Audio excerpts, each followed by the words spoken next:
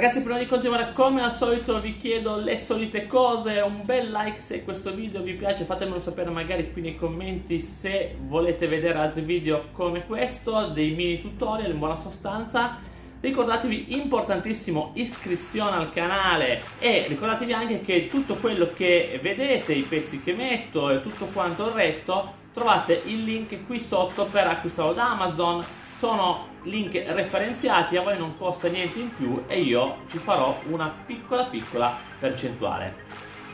Ciao fisciolini e bentornati sul mio canale. Oggi altro mini tutorial su come sistemare i vostri PC di casa. Oggi abbiamo un Asus X540S, una macchina devo dirvi di mm, non tanti anni fa, abbastanza recente, credo che abbia un paio d'anni, tre al massimo. Questa macchina di per sé è una bella macchina perché vedete è un portatile da eh, 15 pollici, molto sottile, pesa meno di 2 kg, completo di tutte le porte di cui possiamo aver bisogno, in una sostanza USB 3.0, HDMI, VGA, porta di rete standard, WiFi dual band, addirittura una porta USB-C 3.1 reversibile, cioè addirittura potete utilizzarla per caricare il dispositivo jack delle cuffie, lettore di schede, insomma un po' veramente veramente tutto, addirittura ancora il lettore DVD per chi ne potesse avere bisogno, sapete che per alcuni utilizzi magari anche scolastici, vi dicendo,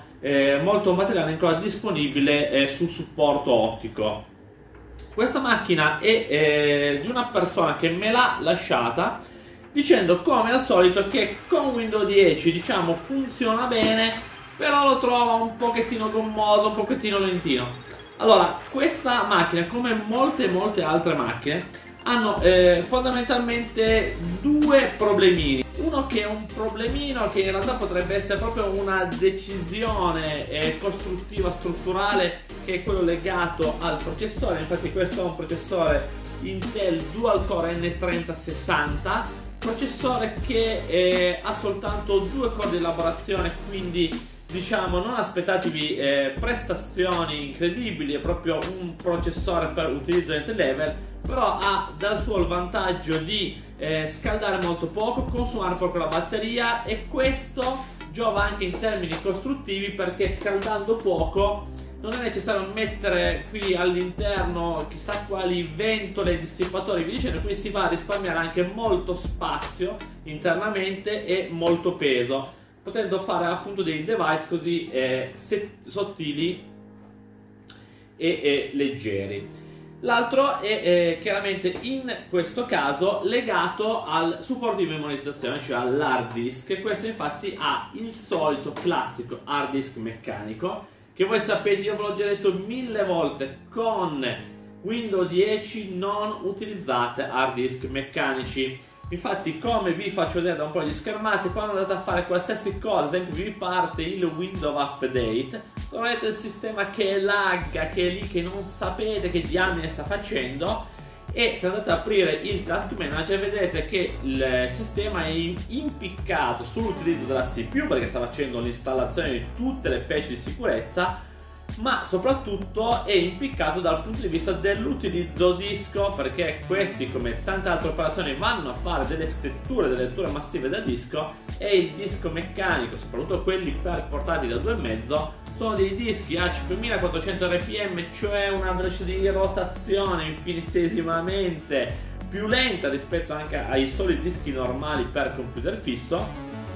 Per cui quello è una cosa su cui bisogna mettere rimedio e vedrete che con l'aggiunta di un disco SSD questa macchina tornerà ad avere prestazioni molto accettabili e potrebbe tornare molto utile per l'utilizzo normale di casa, leggere la posta, insomma navigazione via dicendo, ma essendo una macchina così portatile è anche molto interessante quando ve la dovete portare in giro perché magari siete un professionista che gira e volete avere una macchina che costi poco e che vi permetta di eh, gestire documenti, fare presentazioni, rispondere alle mail e vi dicendo quando siete in mobilità avendo comunque sempre uno schermo da 15 pollici, una batteria che vi dura comunque decisamente tanto e un portatile leggero e pratico da portare in giro. Andiamo ad aprirlo e mettiamo il disco SSD. Allora, chiavettina USB inserita, disco nuovo collegato con l'adattatore USB.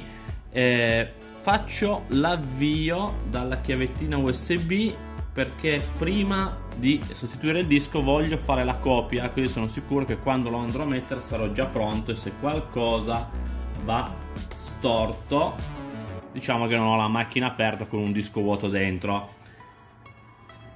Suite della Soft l'ho già utilizzato, ho fatto un video apposta in cui descrivo proprio l'importanza dell'SSD e come fare per installarlo, facendo vedere tutti i tool, anche un altro adattatore USB eh, diciamo più economico che utilizzo, questo è quello che ho in ufficio che va bene sia per i dischi grossi che per quelli piccoli, per cui dai andatevela a vedervi, vi lascio il video qui sopra in descrizione e nell'info box. Adesso faccio la copia e una volta fatta andiamo in laboratorio, lo smontiamo e montiamo l'SSD all'interno.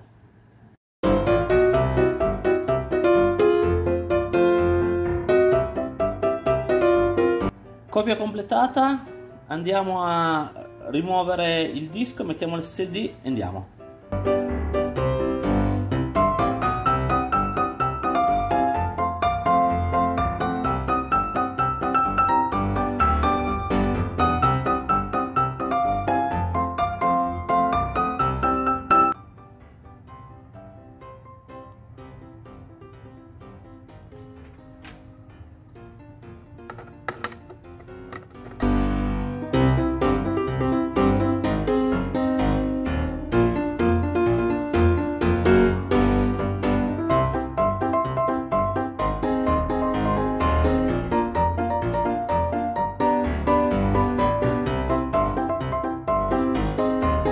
Ok amici avete visto che di per sé non abbiamo guadagnato tantissimo all'incirca una quindicina di secondi anche se in realtà poi vedrete che nell'utilizzo quotidiano quei 15 secondi che aspettate tutte le volte che lo accendete alla fine si fanno sentire.